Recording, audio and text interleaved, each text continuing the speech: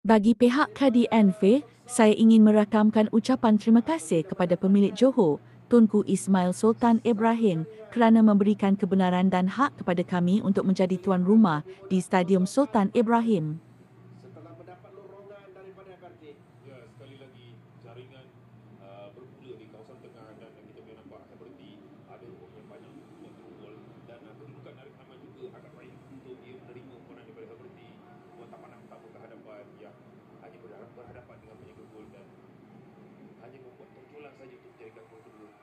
りみたいなことかっ